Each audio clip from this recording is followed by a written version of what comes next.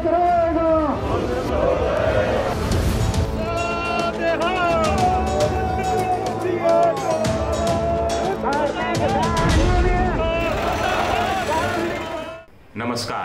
मैं हूँ विजय विद्रोही। तो देश भर में मोदी सरकार किसानों के संबंध में तीन नए कानून बनाकर लाई है, जिसका विरोध हो रहा है, आंदोलन हो रहा है। कुछ लोग जमकर विरोध कर रहे हैं, कुछ लोग जमकर इसकी तारीफ़ कर रहे हैं। मेरा खुद का टेक ये है कि ये तीनों कानून किसानों के हक में हैं। किसानों का इससे अच्छा खासा भला होने वाला है। हाँ थोड़ी बहुत खामियाँ हैं। जो अगर दूर हो जाएँ तो किसानों का वास्तव में और ज़्यादा भला होगा। कुछ चीज़ें मोदी जी ने मानी हैं, कुछ चीज़ें मोदी जी मानने से थोड़ा डर गए हैं, थोड़ा पीछे हट गए हैं। आइए इसकी विवेचना करते हैं।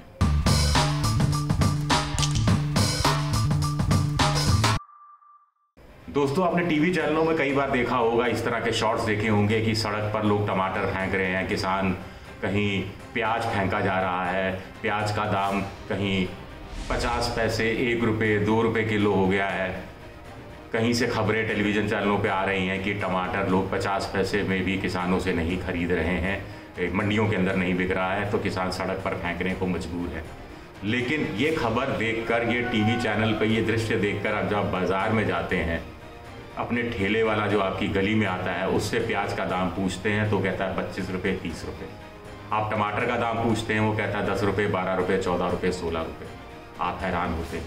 अरे, टीवी चैनल में तो पचास पैसे में भी नहीं बिक रहा टमाटर, प्याज दो रुपये किलो भी नहीं बिक रहा, और आप बेच रहे हैं इतना। वो कहते हैं, सब क्या करें मंडी में, यही भाव। अब दूसरा सीन देखते हैं।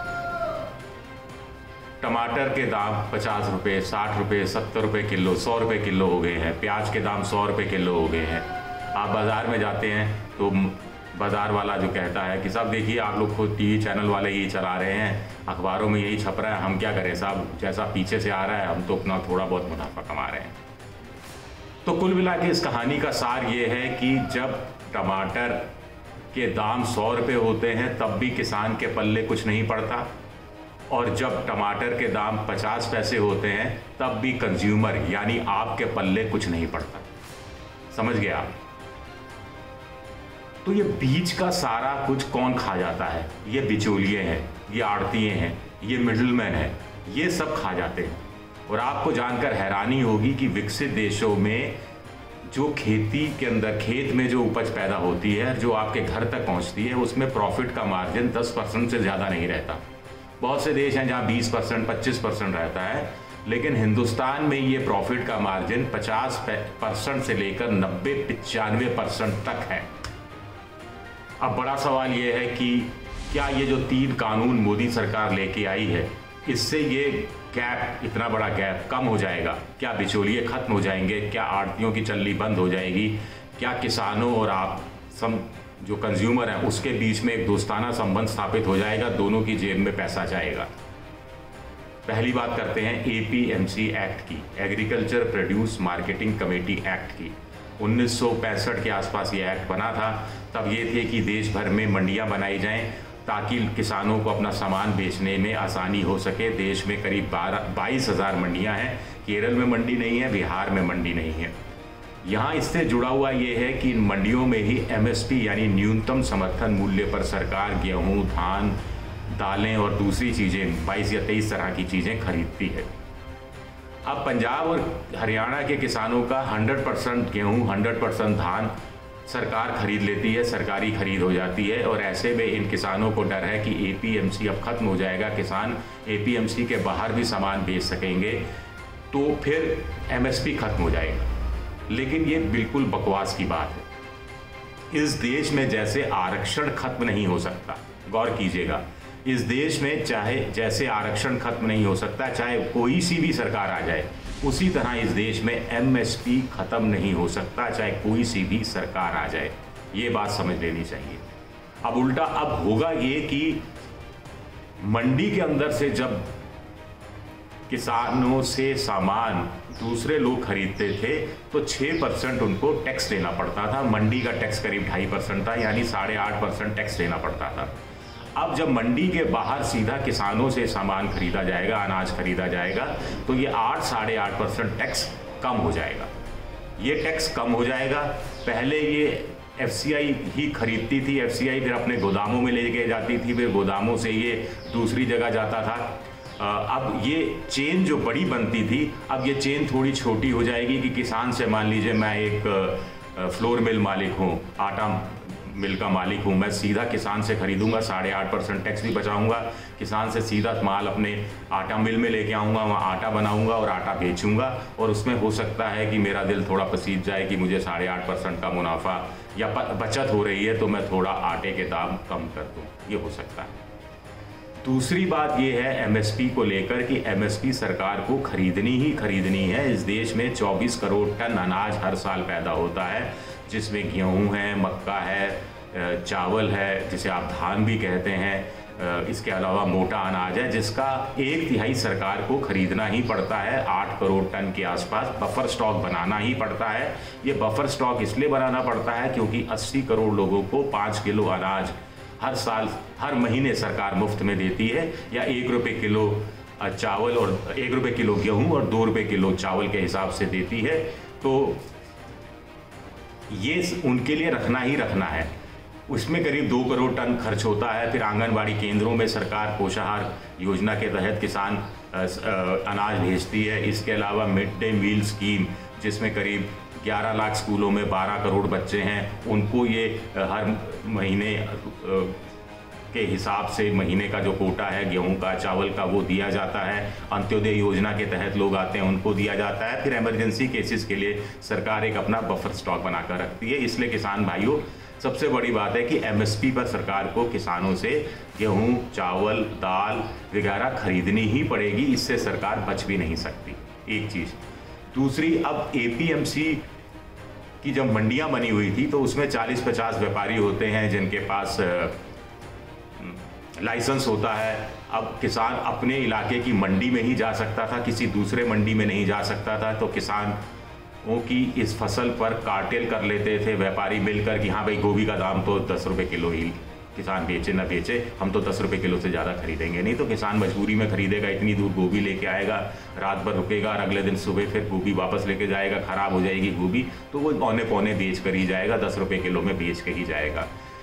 इन मंडियों के व्यापारियों को पता होता था कि इलाके में किस किसान की कैसी फ़सल हुई है, कुल मिलाकर कैसी फ़सल हुई है, पूरे उस इलाके में जो मंडी के हल्के में आते थे, और किसान की मजबूरी थी। अब किसान घर से निकलेगा तो वो अपने राज्य की अपने प्रदेश की मंडी भी देख सकता है अपने डिस्ट्रिक्ट की मंडी भी देख सकता है और बगल के राज्य की मंडी भी देख सकता है। मैं इसलिए कह रहा हूँ कि कुछ राज्य कुछ किसान जैसे बॉर्डर एरिया में रहते हैं।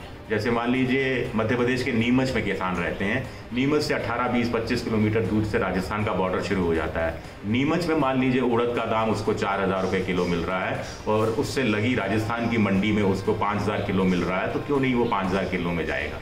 एक दूसरा व्यापारी भी डरेगा, वो भी मनमानी कीमत नहीं लगाएगा, कम कीमत नहीं लगाएगा, क्योंकि उसको मालूम है कि किसान की अब मजबूरी नहीं रही कि उसके पास आने की, उसके पास ऑप्शंस खुले हैं, वो दूसरी जगह भी जा सकता है। दो चीज़ें हो गई, जो किसानों के हक में जाती हैं। इसी तरह आवश्यक वस्तु अधिनियम 1955 का है, जिसमें व्यापारियों पर स्टॉक सीमा लगाई गई थी। इसमें इंस्पेक्टर राज बहुत चलता था। आप सौ टन सौ टन चीनी रख सकते हैं। आपके पास 105 टन चीनी है, फिर चलिए जेल चलिए, या जुर्माना दीजिए या फलाना दीजिए बड़े किसान थे, वो भी इस तरह से स्टॉक अपना नहीं रख सकते थे। और स्टॉक की सीमा लगातार सबसे बड़ी बात है, घटती रहती थी, बढ़ती रहती थी, किसान इसी को लेकर परेशान रहता था। अब भी सरकार ने कहा है कि इमरजेंसी केसेस होंगे अकाल की स्थिति होगी, सूखे की स्थिति होगी, युद्ध की स्थिति होगी तो फिर एसेंशियल सर्विस एक्ट दोबारा से लागू कर दिया जाएगा। सरकार ने कहा है कि अगर फ़सलों के दाम 100 प्रतिशत अचानक बढ़ जाते हैं तो भी 50 प्रतिशत की स्टॉक सीमा कर दी जाएगी। तो ये दो दो जो गुंजाइश है वो सरकार ने ज़रूर रखी है। इससे भी कहीं ना कहीं किसानों को घाटा नहीं होने वाला है, ये बात है। लेकिन होना ये चाहिए था कि इससे पहले सरकार जो कोल्ड स्टोरेज है, उनकी संख्या बढ़ाती, सरकारी कोल्ड स्टोरेज की संख्या बढ़ती, ताकि किसान, जो छोटा किसान है, गरीब किसान है, वो भी सस्ते में व्यापारियों को दाम, किसान अपनी फ़सल बेचने की जगह इमरजेंसी केसेस के लिए कि कल को किस अनाज महँगा हो जाएगा तो वो महँगा बेचेगा जैसा दूसरा व्यापारी करेंगे तो वो कोल्ड स्टोरेज में रख सकता है। ये सरकार ने व्यवस्था नहीं की।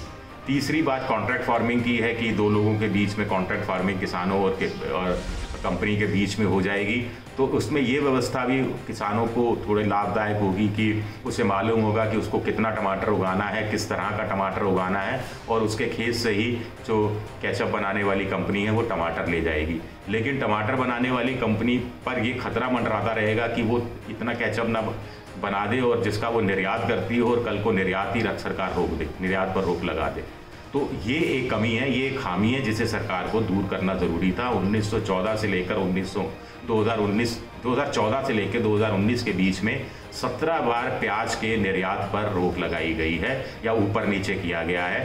धान की बात करें तो 14 बार किया गया है। प्याज में तो आपको हैरानी होगी कि जैसे बांग्लादेश है, ट्रकों में रच चुका प्याज, बॉर्डर पर रोक दिया गया, वापस आ गया हवाई, ये समुद्री जहाज़ों पे प्याज लद गया जहाज़ समुद्र में चल दिए, लेकिन बीच से वापस बुला लिए गए।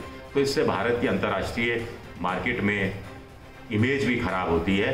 तो ये निर्यात वाली जो बात है, ये भी सरकार को इसमें शामिल करनी चाहिए थी, जिससे किसानों को भी राहत मिलती, कंपनी वालों को भी राहत मिलती, और उपभोक्ता को भी कम से कम इस रूप में राहत मिलती कि उसे पता होता कि बाज़ार में दाम कितने ऊपर नीचे होने वाले हैं, मंडियों में दाम कितने ऊपर नीचे होने वाले हैं, इसका कुछ ना कुछ अंदाज़ा हो सकता था।